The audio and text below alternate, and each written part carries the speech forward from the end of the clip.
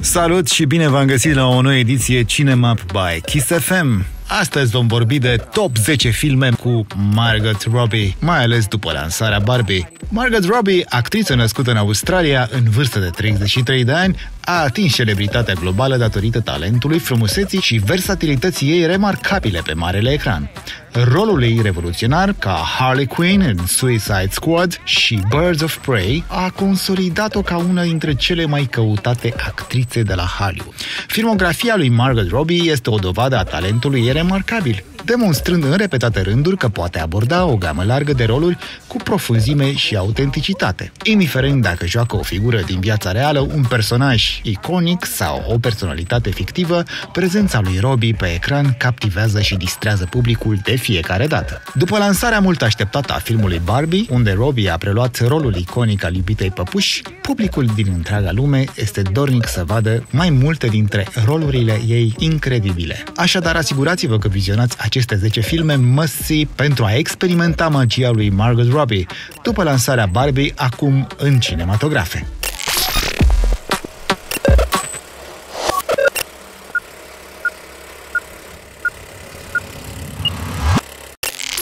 Începem cu I, Tonya. În această dramă sportivă biografică, Robbie oferă o performanță puternică în rolul Tony Harding, o patinatoare artistică cu un trecut tulbure. Portretul ei i-a adus o nominalizare la premiul Oscar, arătându-și talentul imens și devotamentul ei față de acest sport.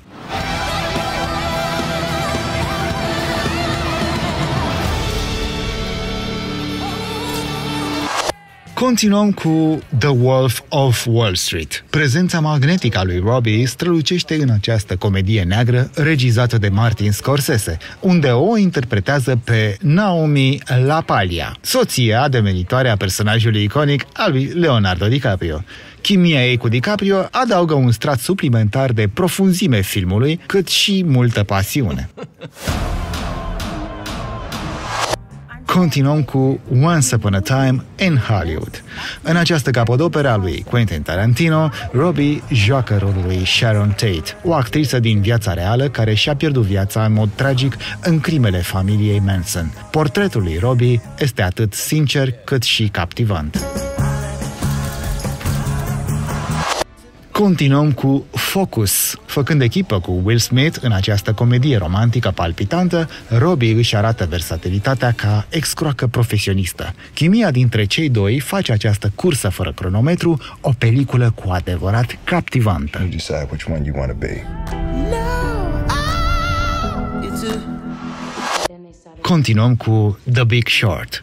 În această dramă, aclamată de critici, bazată pe criza financiară din 2007-2008, Robbie face un cameo memorabil, explicând termeni financiari complexi în timp ce se relaxează într-o baie cu spumă. Apariția ei, scurtă, adaugă o notă de umor și claritate subiectului complex.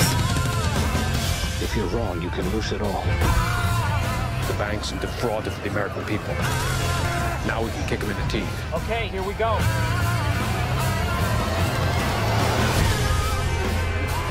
Continuăm cu Mary Queen of Scots. Robbie își prezintă încă o dată carisma dramatică în timp ce o portretizează pe regina Elisabeta I a Angliei. Performanța ei, conflictuală și puternică, completează portretul lui Saoirse Ronan despre Mary Stuart. Will be your downfall. Should you murder me, remember you murder your sister. And you murder your queen.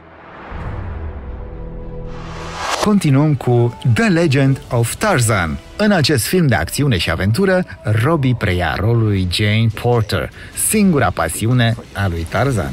Portretul ei, cu voință puternică și aventuroasă, adaugă, bineînțeles, profunzime personajului.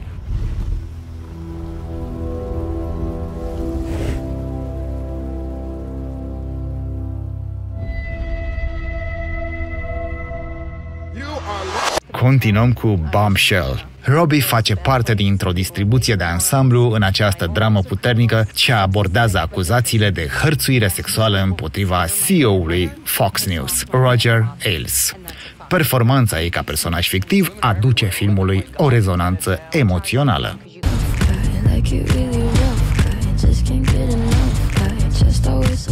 Sweetheart, this is an island of safety and truth. There's a man! Ready to go to war? Oh, yeah. Continuăm cu Goodbye Christopher Robin. În această dramă biografică plină de căldură, Robbie o interpretează pe Daphne de Selincourt, soția autorului A.A. Milne, care a inspirat crearea lui Winnie the Pooh. Reprezentarea soției care îl susține este complexă, cât și emoționantă și convingătoare.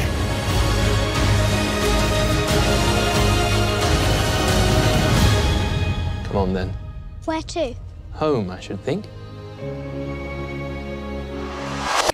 Continuăm cu The Suicide Squad. Revenind la rolul ei iconic, The Harley Quinn, Robbie readuce personajul iubit la viață în această continuare palpitantă și plină de acțiune. Performanța ei este, fără îndoială, unul dintre cele mai importante momente ale filmului.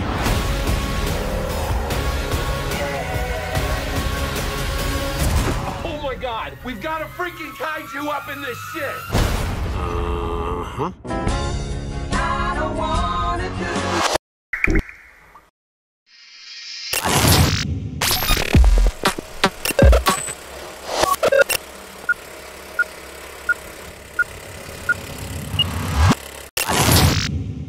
A venit momentul să vorbim și despre premierele de la cinema din acest weekend. Începem cu Falcon Lake. Bastian și Chloe își petrec vacanța de vară împreună cu familiile lor într-o cabană pe malul unui lac, bântuit de o legendă a fantomelor. În ciuda diferenței de vârstă între cei doi adolescenți, se înfiripă o legătură specială. Prima iubire te va bântui. Il y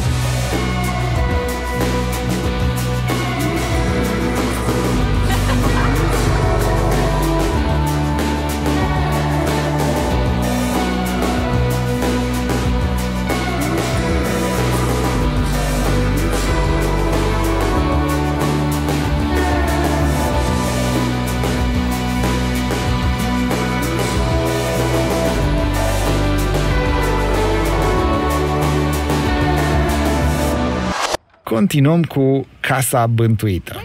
Gabby, o mamă singură, angajează un ghid turistic, un clar văzător, un preot și un istoric pentru a ajuta la exorcizarea conacului lor, nou cumpărat după ce descoperă că este populat de fantome. Amen. I do like surprises. Is anybody else seeing this? I hope you do too.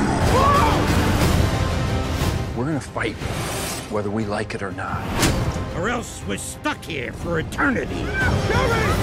If this comes down to an exorcism, we're in big trouble.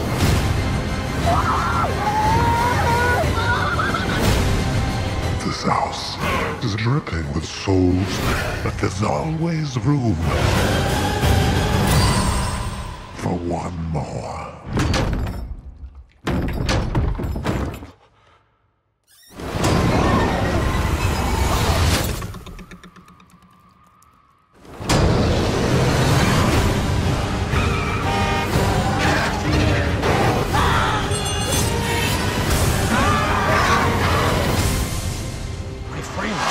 Continuăm cu Compromat. Un diplomat francez care lucrează în Siberia este arestat pentru deținerea de pornografie infantilă și aruncat în închisoare. Inspirat din fapte reale, filmul urmărește încercările eroului de a evada în condițiile în care guvernul propriei țări pare că l-a abandonat.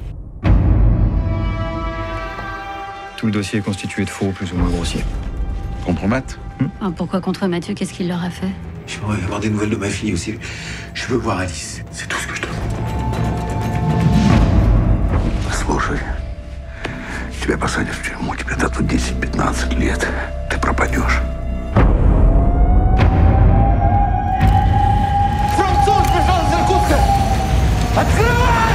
Матhieu Roussel, преступник, самый разыскиваемый.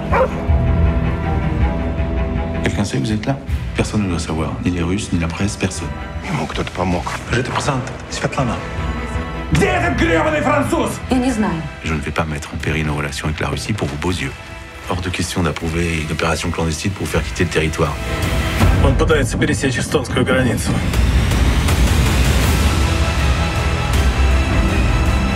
La seule solution, c'est de vous rendre aux autorités russes.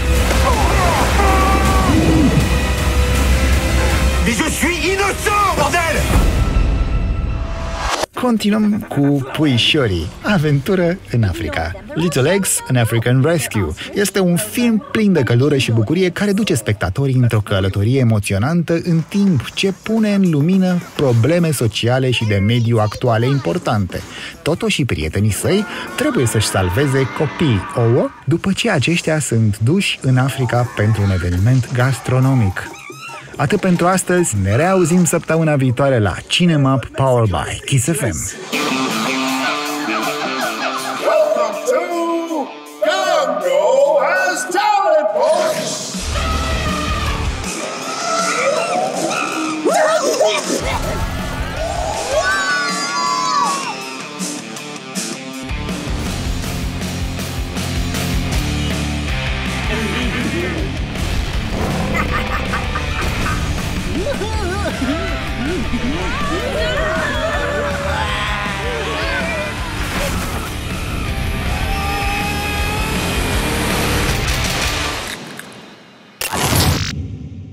Informații din lumea filmului, premiere, programe cinema, știri, celebrități și seriale, intrați pe www.cinemap.ro Sunt Ana Moga. Ne întâlnim curând la o nouă ediție Cinemap, powered by Kiss FM.